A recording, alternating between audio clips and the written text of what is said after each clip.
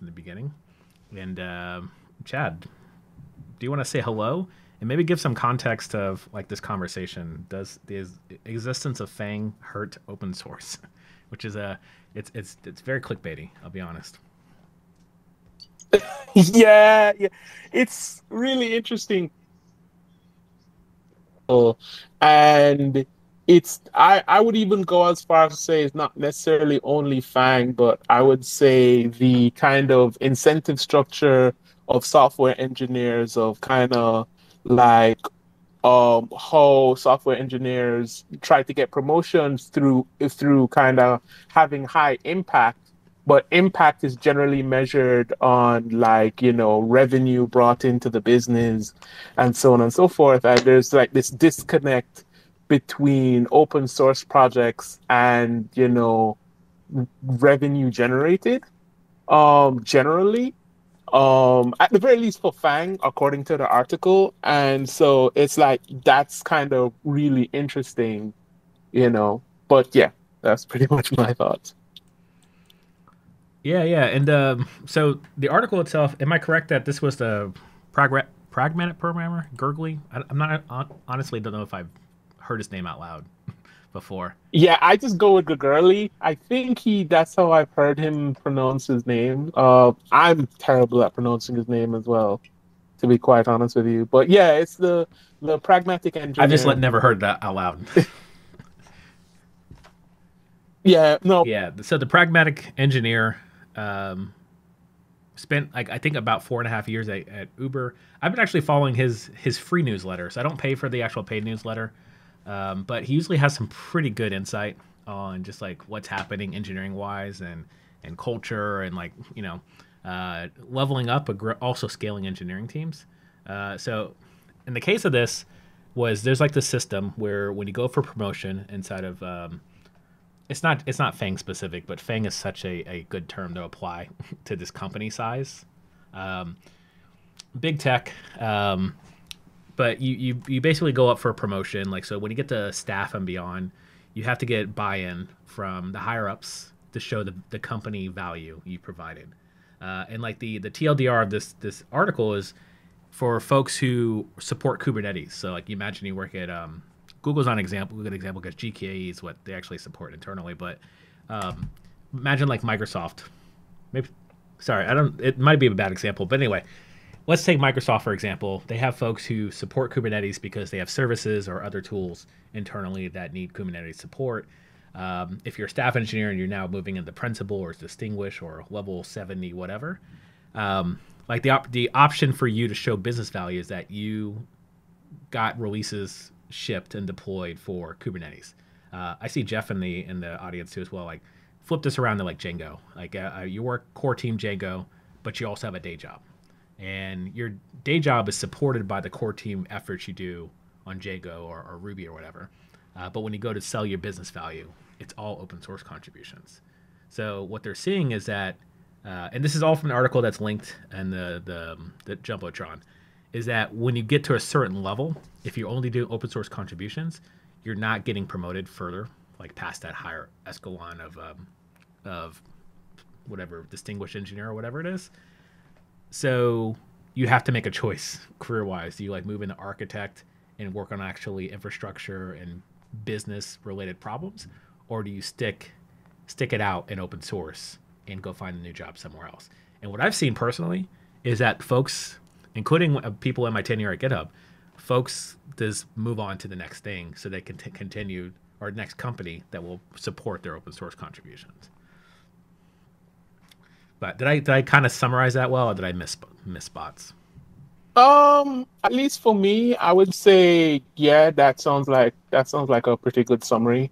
Uh, uh, uh personally, I know there's at least according to the article, because to be honest, I haven't had that experience or even had that experience like through somebody else telling me. But you know, there's also kind of like some people just kind of just drop from from the the um, the project. Well, they just kind of abandon open source and just kind of move on, you know, to to kind of moving their career forward. And like, so what I was thinking, it kind of has this perpetual state of uh, I, I remember having this conversation with you um, when we were originally talking about this. It feels like this kind of perpetual state of new people coming in because those are the people that are the most the more likely to to to benefit from open source you know because like as you're saying as you get higher in the ranks in in in big tech um and i mean yeah as you get higher in the ranks of, of big tech like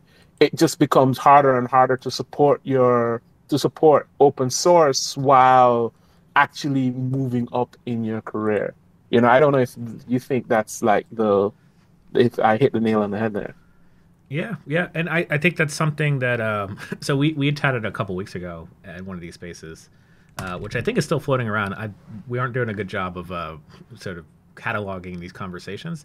Hopefully, in the future, now that we've sort of figured out how to build this layout, I've been I don't know if you've noticed I've been messing around with this while we were chatting.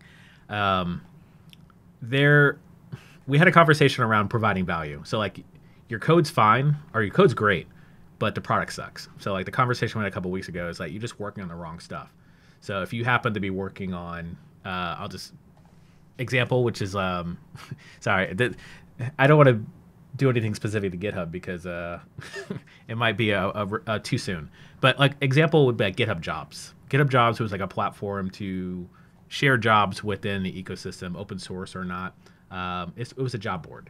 Uh, it wasn't supported for like years. It was actually thrown together by early GitHub employee, uh, and sort of this been around for a while. Uh, so it got sunsetted because it just no support. Uh, also, it was support. It was actually built on top of Heroku, uh, which also had a whole other issue. So that got sunsetted basically. Um, if you were working on that full time, and the project itself got sunset, like now you are now looking for a new team, which and no one was really working full time on that, but the, the conversation we had from there is like you were if you were on that pro- that product, you weren't providing business value.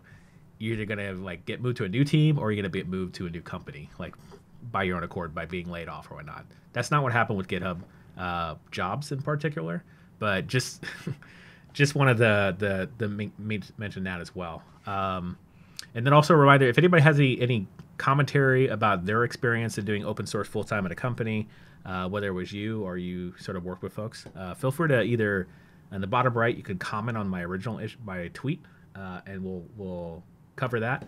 Uh, but we could also like you can just request and you can jump up and speak. But yeah, going back to this conversation around, I'm working full time in open source. I'm supporting the business by contributing back to open source projects. But there's like there's a, it, it's hard to uh, is it like what's the analogy? See the the forest through the trees like yeah like you could be working on something really really impactful for the entire community of kubernetes or, or django. Uh, but when that gets merged or when that release gets cut does that in particularly provide business value when you go to get submitted for a promotion? And that's the hard part is actually to to justify that. And i, I was actually talking to some startup founders um, they built a product around mdx which is a markdown library for um, uh, in, injecting Markdown inside of modern JavaScript, so like Next.js or React or whatnot. Um, and it's like a combination of Markdown and JSX. Anyway, not not a problem. Uh, but they actually they're they they want to fund open source contributors uh, because their product is actually built on MDX and open source library. So if they fund contributors to the open source library MDX, they can produce like more feature development uh, for their product. So it's like advantageous for them to do that.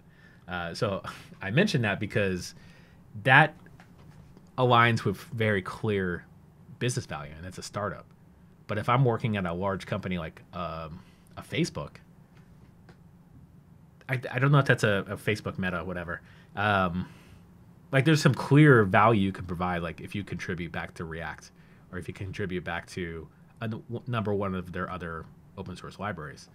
But if you're contributing back to, I don't know, a random library that's not actually within the ethos of React, like even even though Redux got absorbed, the maintainer got absorbed into, into to Meta and is contributing to React, Redux would be one of those things because Facebook is not necessarily like they could be using Redux, but it's not like their their bread and butter business value. And like I'm, I'm speaking with no experience in working at Meta. Right.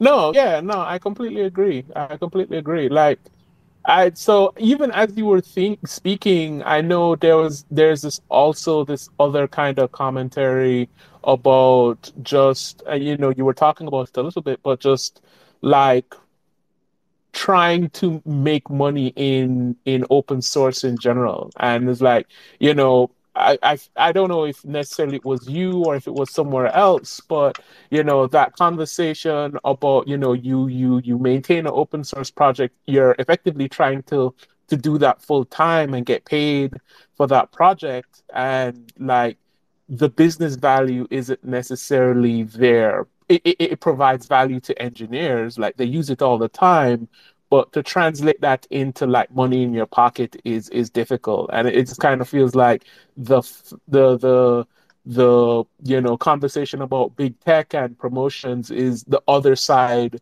of that coin where it's like you have some people who are contributing to open source but they're not associated with anybody they're they're they're practically freelance you know like well maybe freelance is not the best word but you know they're on their own and then there's people who are contributing to open source and they're attached to a company. It just feels like the same conversation in with different stakes or different a different environment.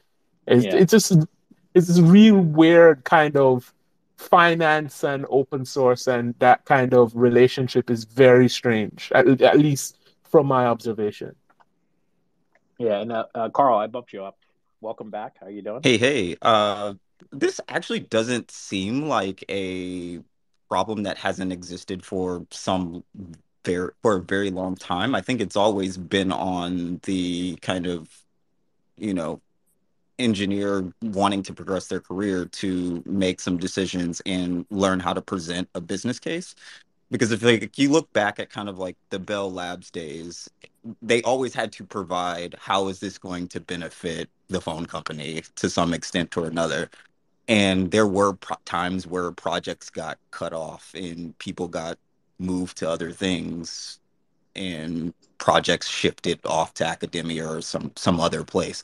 I think that there is just the life cycle of a project. Maybe something is great when you are working on it and it is actually providing a valuable use case but then at some point it may not just be in the best interest for someone of that caliber to be working on that full time within that organization. And i think that is okay. I think this problem does probably get a little bit more tricky as we get larger and larger and you need to have a certain amount of big tech to fund open source to some extent, but I do think this is a problem that's always existed. Yeah, this this is true, and this is something that I don't know if it's top of mind for me now because I'm working on a open source product that will hopefully support open source, not solve this problem at all. Uh, but I just recently saw a large company uh, just announce layoffs like last month, uh, and one of the folks that got laid off was the their head of their OSPO and um, OSPO's being like their open source program office. So like their entire goal was to make sure that this company did better and like gave back better when it comes to open source. Um, and like this is a different problem than you trying to get leveled up to staff or senior engineer. But they didn't make the cut when it came to layoffs. Like obviously this was it was redundant.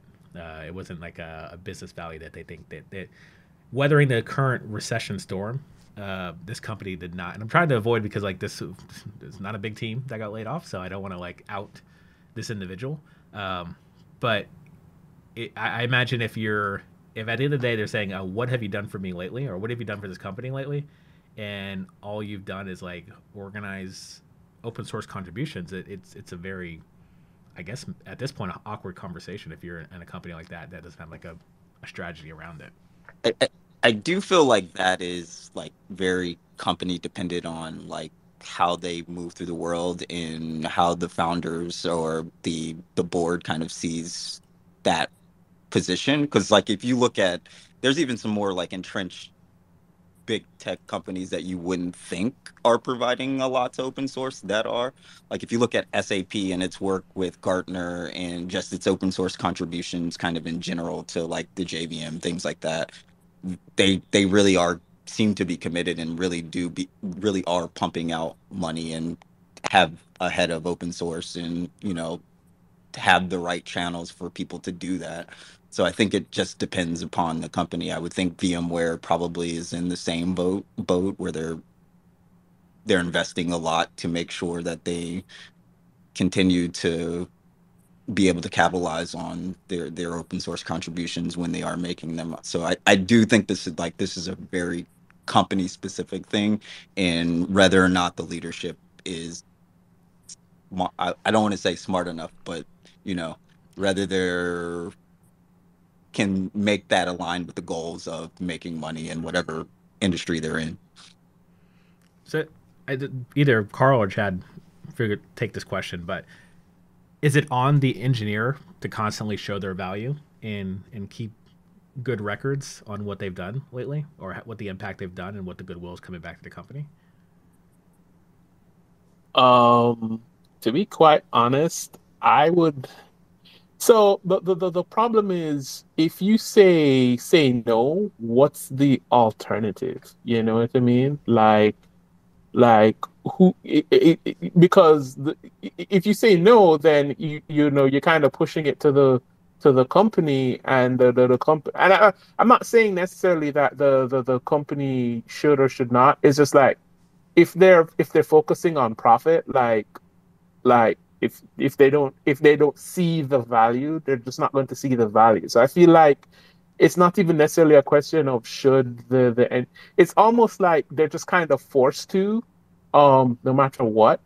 Like, you know, if it's a com- if it's a project that they've kind of started or they've been heralding for a period of time, they're going to probably the, be the ones that are you know trying to constantly say you know hey this is the one this is the thing that has value you know it's like regardless of whether or not you know from a moral standpoint i guess i don't know i can't think of a better phrasing but from a moral standpoint like whether or not uh, other people should be involved in saying that it, it, it has a lot of value. Like they're kind of the ones that they're the ones kind of left holding the bag you know what i mean? More more oh so go ahead.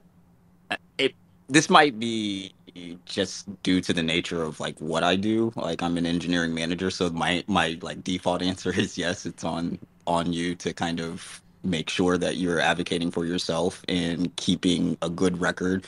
Um, I I think that that's just a good skill probably to have anyways even if like if you intend to go down the road of being a completely open source maintainer um, you have to find out how to make that work for you from a uh, from a monetary standpoint. And I think learning how to do that with inside an organization can only help you out in the real world when it's time to put together a, model for like how do I make this sustainable and not kill myself trying to do this out in the wild.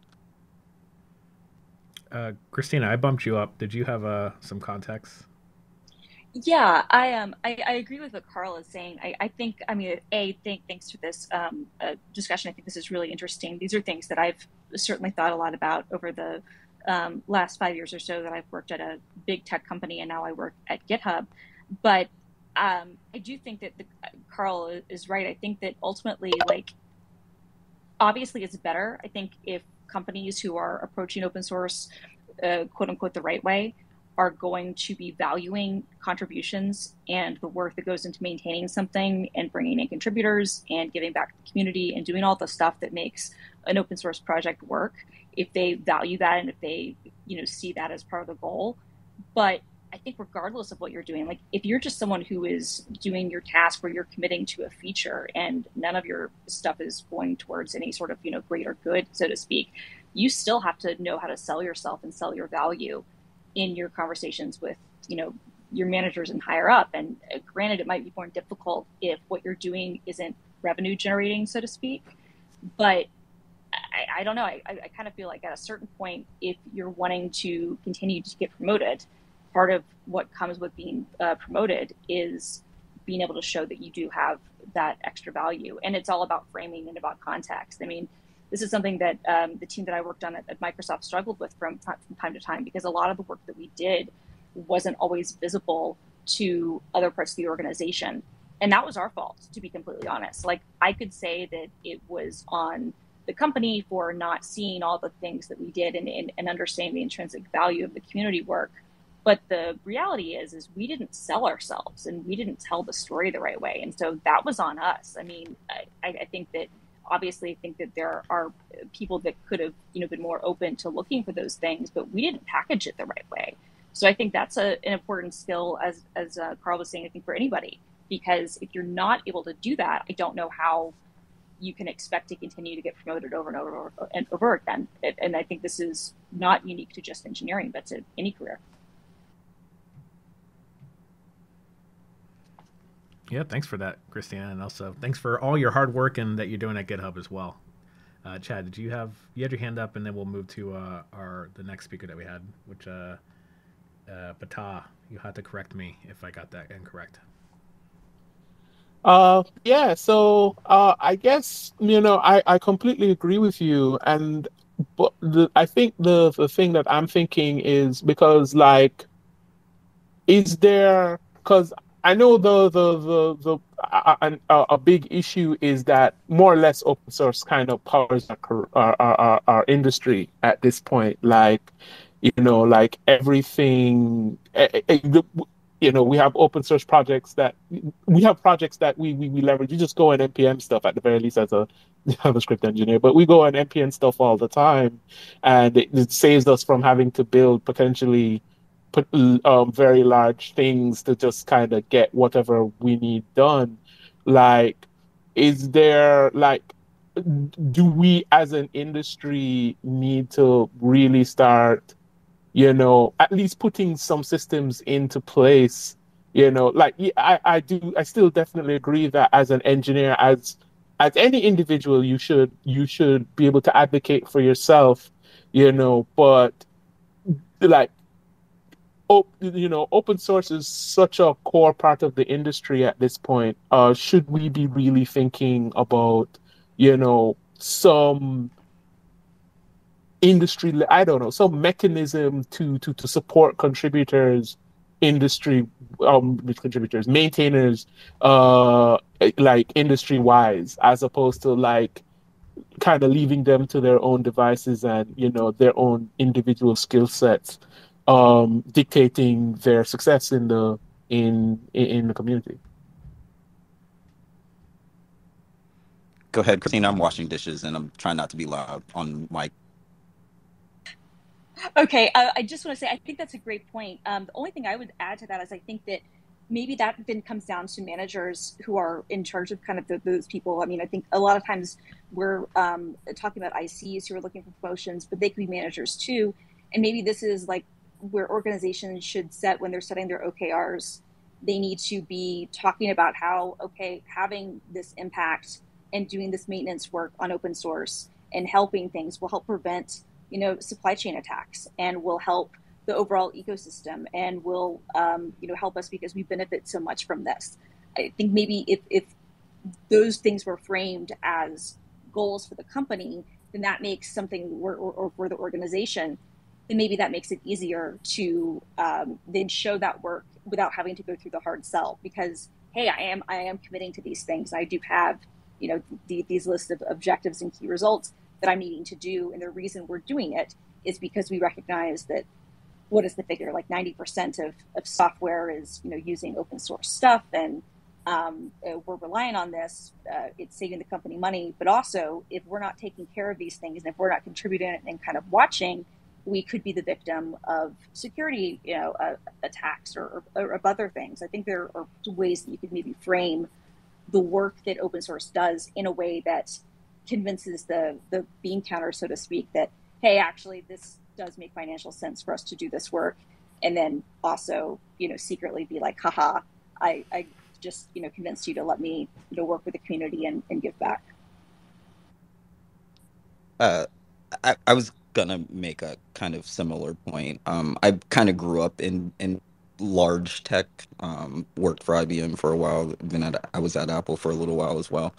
Um, and I've always had and kind of come from an infrastructure background where I've always had to kind of sell open source. And my current role is uh, managing a team of engineers who work. We work on government projects, so I, I feel like I've spent a lot of time having this conver- like this particular conversation of like how do we how do we make them see the value of open source over closed source over paying for things that we shouldn't be paying for.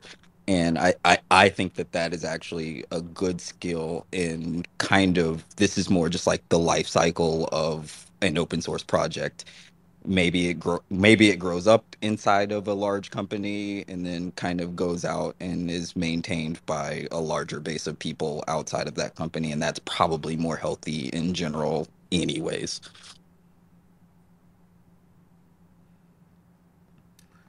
Excellent. I, I did want to let our next speaker uh, add some context, and I, I pronounce your name Pata, but I, I would love for you to correct me if that's not it. That no, that's perfect. Thank you for that. I usually Okay, get like you. potato or Peter or Pat. So thank you. Uh, to to the question, it, it's definitely um it's contentious with uh, FAANG or big tech hurting open source. It- you know, it's it's a love hate relationship, especially with the companies that uh, don't understand it from a strategic point. So I- I would avoid those companies. Uh, to Christina's point, doing it the right way would be using it as as a strategic standpoint.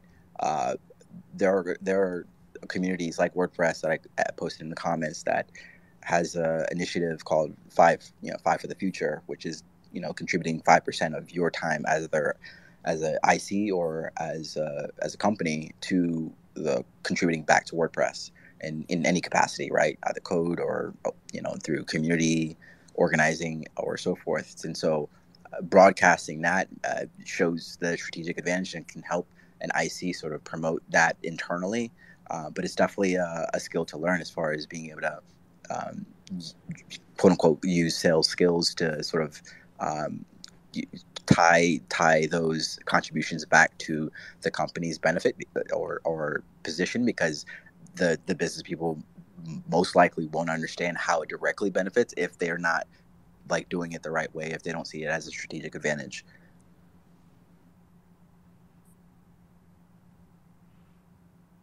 Excellent. Yeah, I appreciate that. And uh, I missed that that that comment too. Is uh, the Twitter Twitter Spaces is interesting when it comes with this like replies and chats, and there's tons of new features that in there. But yeah, WordPress is a, a good example, and and how they're sort of impacting community, making impact for just generally how people are building on the web. Uh, and there's like there's quite a few other examples too as well. Uh, and going back to the original the the original pen uh, reply to this uh, space, uh, it was from the pragmatic programmer. So a lot of folks are jumping jumping in later. Uh, so I just want to reiterate and set the stage. Pragmatic programmer has a, um, a newsletter, and uh, one of the more recent iterations of it was talking about how folks at FAANG companies to get promoted, you got to show business value if you want to get past the staff level. Uh, if you're only contributing to things like Kubernetes or to other large, industry-wide, impactful um, open source projects, you can't show direct business value. So a lot of folks are scaling out of those projects and contributing and moving to other roles um, and needs, or they're leaving company the company to go continue work on open source. Chad. Yeah, so there was a particularly interesting part of the article that I saw that I found interesting that um, talked about how there will be some people who, you know, again, going back to the original thing of like impact is effectively the fuel to, to, to drive your promotion, right? And some people will go out of their way to try to build a, co- a closed source solution in in um in the company even though i won't say necessarily there will be an open source alternative but you know maybe adapting an open source or alternative or just adapting an alternative period would be would be maybe better served. But like there's a lot of of of kind of closed source um, projects kind of being put together solely as promotion engines or promotion vehicles, right? Like uh, Gurgurly um, mentioned that there were six, or not maybe not necessarily Gurgurly, but in in the article there's mentioned that you know Google has built 16 different chat chat applications, some you know running in parallel, you know. So I, I found that kind of interesting as well, like it's definitely like just this movement of okay you leave you you leave doing open source you know work and then you you kind of go to the okay i'm just trying to to to, to get this promotion you know. It, it just it's just really interesting and weird like it's just the culture is very strange to me especially as somebody who's still very relatively outside to all of this. Yeah and chad we uh we dm'd about this and you brought this up around is it is it okay that these folks are just sort of scaling or, or sort of churning out of contributing open source? And is it on these folks or other contributors to then bring other folks into the fold? So like it, it's a sustainable problem. And this is like something that they came up with GitHub sponsors back in when it, when it shipped in the summer of I think 2019. I think was when we actually made it public. Um, but the the the challenge and the concern was as soon as this thing launches, all the top open source contributors are going to be, or the quote unquote influencers are going to be ones on GitHub sponsors succeeding.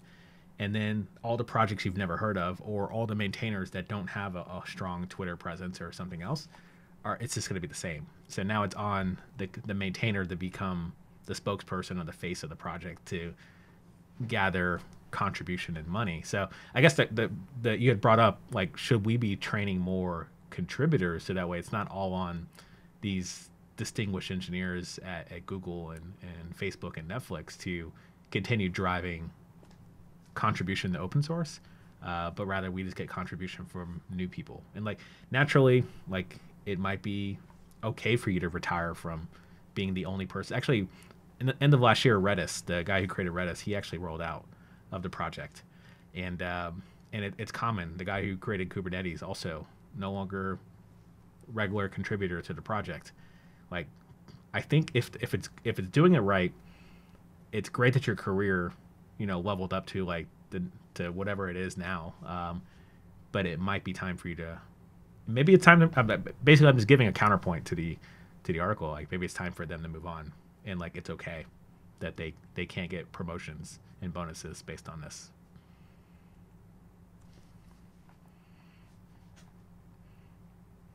And just set the tone no, yeah, no, I, I, I. That's actually a really interesting point. Like because you know we've kind of effectively been arguing. You know, all of us on stage here has effectively, at least what from my from my understanding, we've all been kind of arguing that you know like we should be supporting you know contributor, the, the um, con, I keep saying contributor, the maintainer continuing to maintain the project until the day they die, you know, type deal. Whereas, you know, maybe we should be thinking more of a system where it's just easy for people to flow through projects. You know, like the code will be there forever, right? Well, well let's not say that, but the, you know, the code will probably be there for a long time, and it's just really up to people just being willing to put to put effort into to to you know whatever whatever changes needs to be made. So you know maybe you're right there where it's like it's less of a bad thing that that you know the the original person can't necessarily just kind of sit on that project until they they retire for whatever reason and then you know retire into a in, into a luxury yacht and go sail the high seas or something. But you know but like you know there's I guess going back to the, the original thing that I said, there's a flow, you know, of people kind of making their careers on a project that exists and has a strong community made, you know, like that's an interesting point. Uh, uh, Carl, Carl yeah, your hand up. up. Uh, I actually kind of said something closer to the opposite, where I feel like this is a, a problem that has existed, and uh, or not necessarily that a not necessarily that it is a problem, but I think it is a good point to some extent that people have to learn how to sell what they're doing and, and and provide value and context around what they're doing.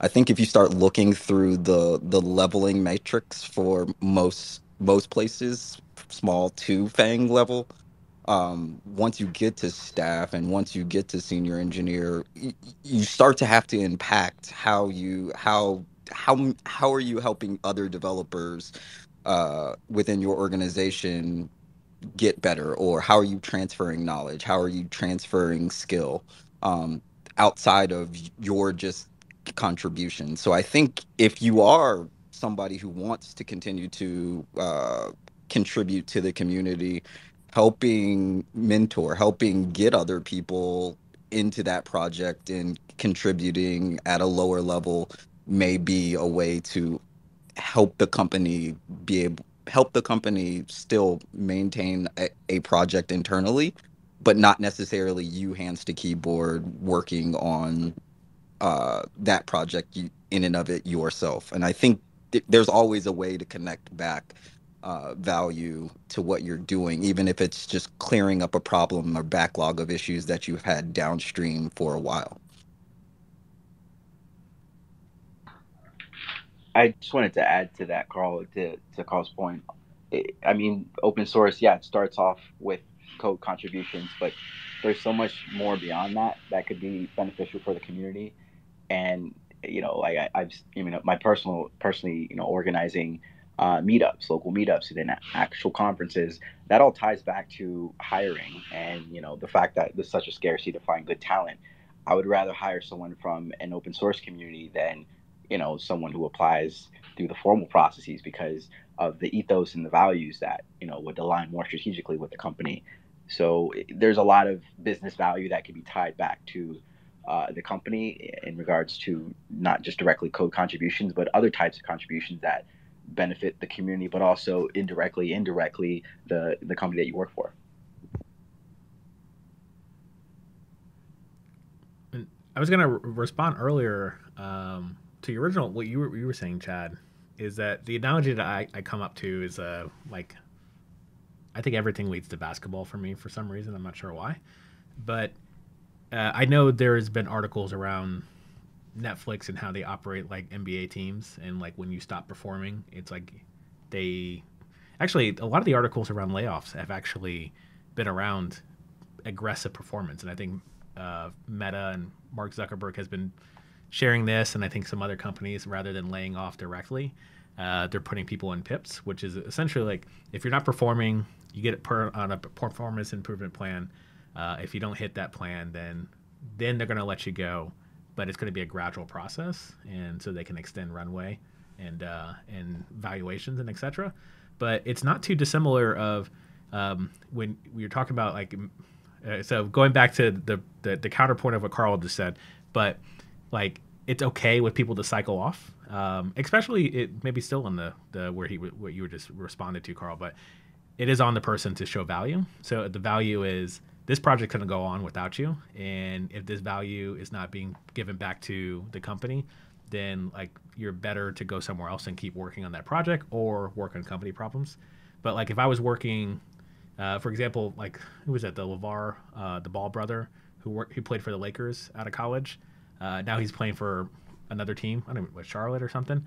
Like he was supposed to be the greatest. Came out of out of college. It's going to be great. And then exact as soon as LeBron came on and was better and wanted, had a vision for where the team was going to go, like that guy was cut.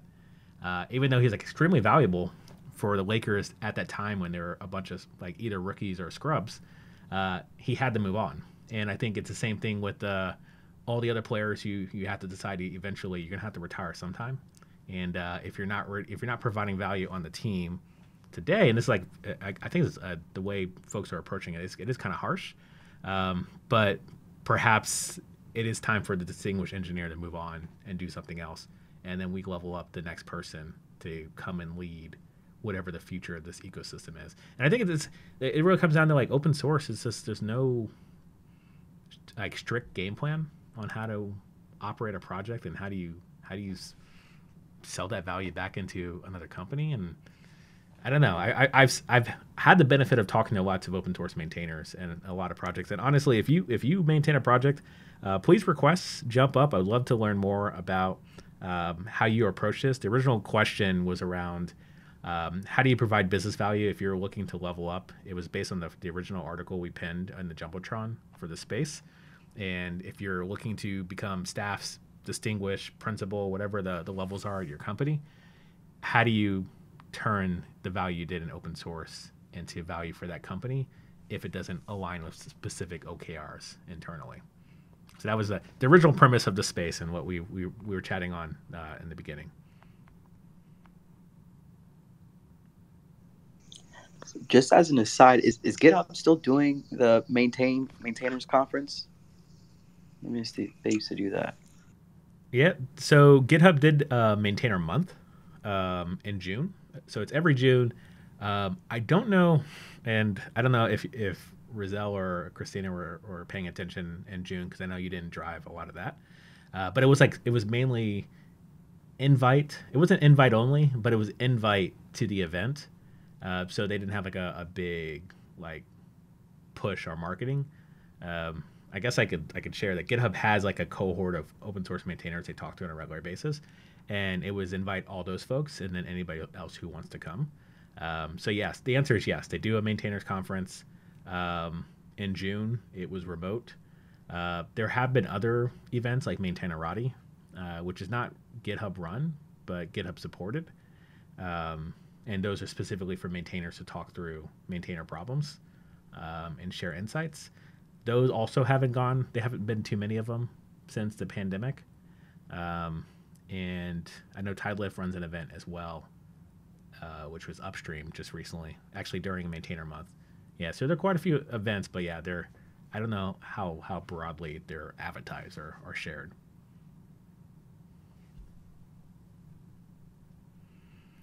With that, it, with that being said, um, GitHub currently has their uh, CFP open for GitHub Universe. So if you want to submit a talk, maybe on this subject, please submit a talk. Yeah, I probably should do something like that. Like, I guess, yeah, I don't know. Uh, maybe I'll give it a shot. yeah, I mean, inside baseball, there are less submissions um, than you would than you would expect for the size of the conference. Uh, I don't know if people just they think they have enough to say or whatever, but uh, I spent a lot of time encouraging people to submit um, in my tenure at GitHub. So uh, let me encourage you right now to submit. Yeah, I'll find it. Um, let me. Yeah, I'll grab it real quick. But yeah, Chad, I'll, I'll let you. While I'm doing that, why don't you uh, propose any questions? Or actually, I don't know. Like, we're like running through the the gambit of this this conversation. Yeah, I mean, so it's because I, I I'm kind of like I, like a lot of the stuff that I kind of wanted to talk about, we've we, we've kind of gone through. Like the only other thing I would say, um, so like I thought that was kind of running through my mind is maybe we should probably have like something like Y Combinator for for for for for kind of open source projects. Well, maybe not necessarily, but just some way of like teaching people how to to, to maintain open source projects.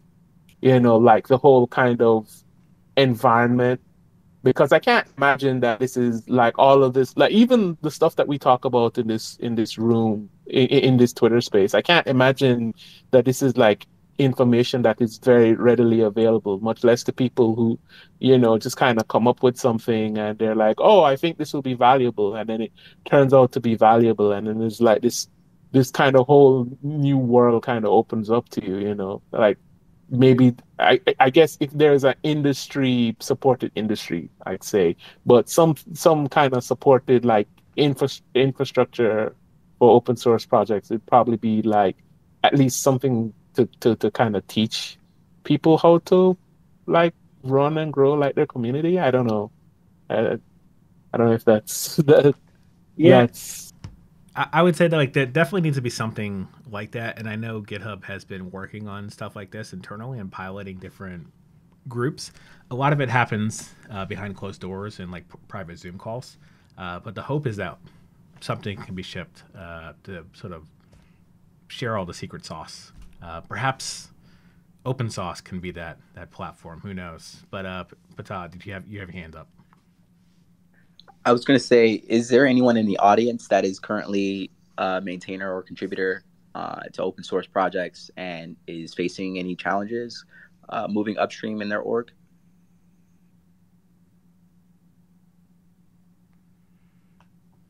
Yeah, yeah feel free. Oh, go ahead. Go ahead. I was gonna say that's a good question. I'm actually scrolling through, and uh, I'm gonna out you if you don't uh, if you don't request.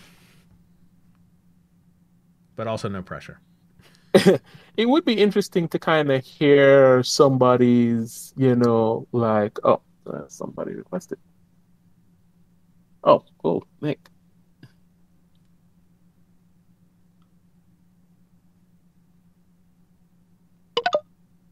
Oh, bring him up.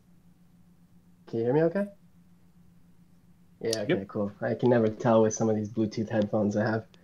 Um, it's not it's not to mention struggling with it, but like uh, I'm a staff engineer at Netlify, and I was working in open source before. Uh, as I know you you and Chad know B Dougie, but I used to work at like dev.to and stuff, and that's all open source. The the product was uh, open source, but we had a commercial offering, and um, even as a staff engineer, though, I'm working in open source at Netlify now, so I'm on the ecosystem team in terms of uh, making sure frameworks work there. So it, it's it's not to mention pain points. It's more just it's an interesting space because we have some plugins that we maintain that are open source to make sure a couple frameworks work, but a lot of other stuff is just contributing back to those frameworks to make sure things work well.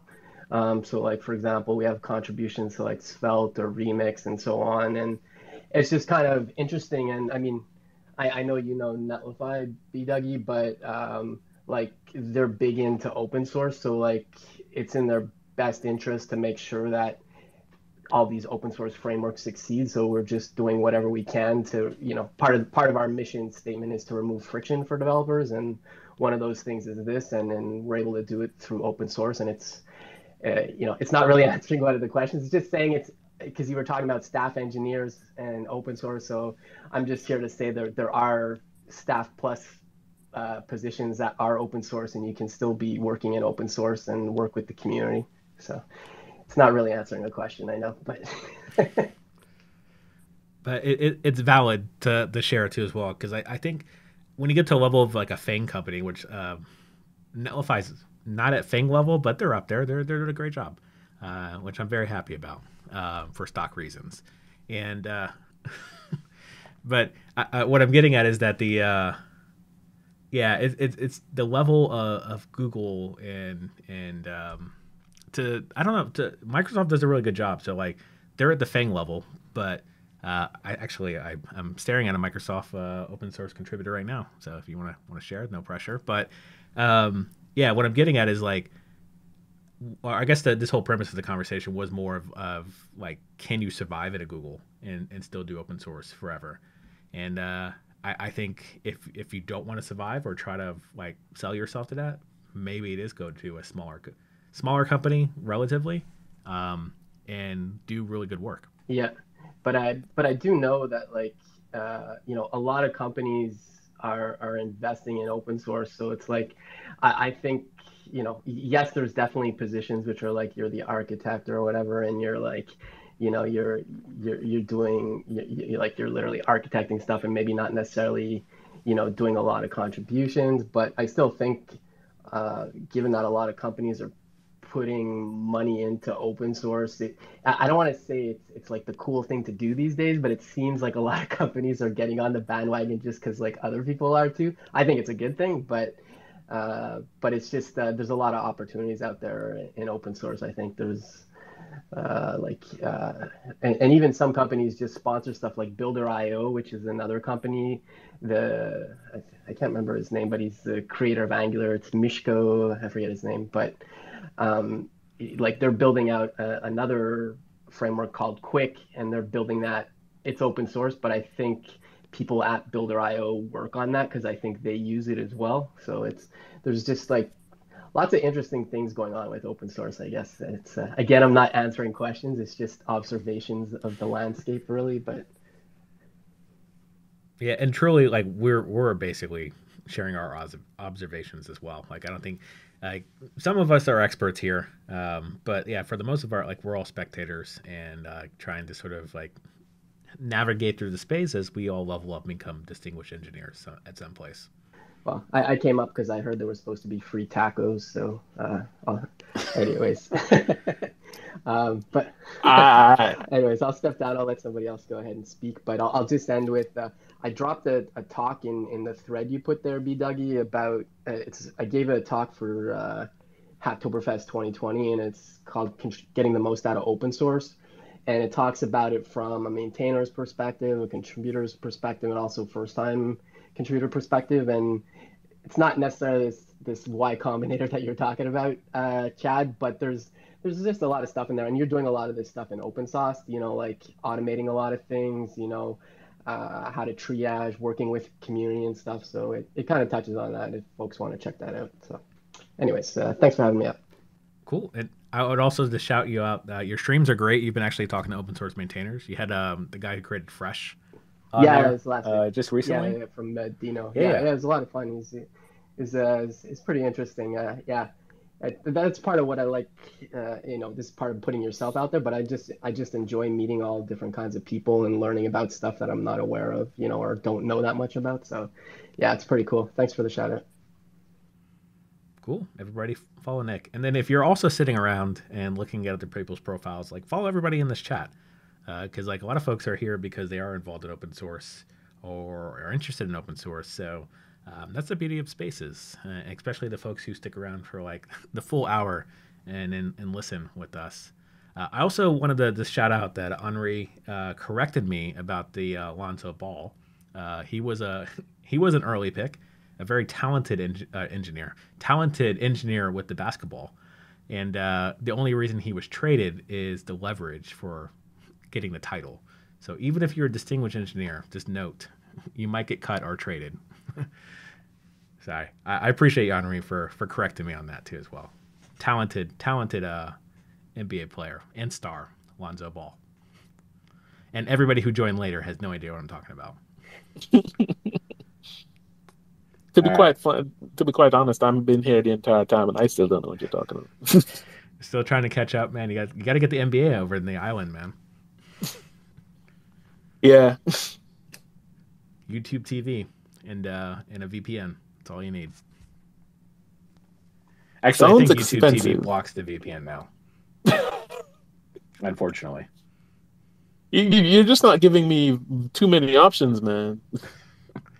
yeah. Speaking of which, um, we are actually going to be writing some code after this together. So we're going to pair on a problem. So, folks who, um, yeah, we're going to be winding this down now. So, thanks so much.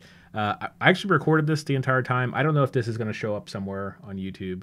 Um, it is recorded on Twitter for the next 30 days, so definitely give it a listen. Tweet it out if, people should listen to this.